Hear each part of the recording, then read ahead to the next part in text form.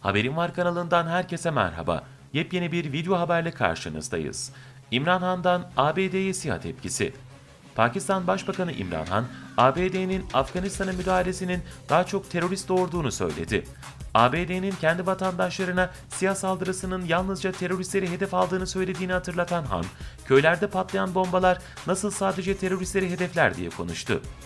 ABD halkının bu şekilde patlayan bombaların yol açtığı yan zararlardan haberdar olmadığını belirten Han, Washington yönetiminin insansız hava aracı saldırılarına ilişkin politikasını gözden geçirmesi gerektiğini vurguladı.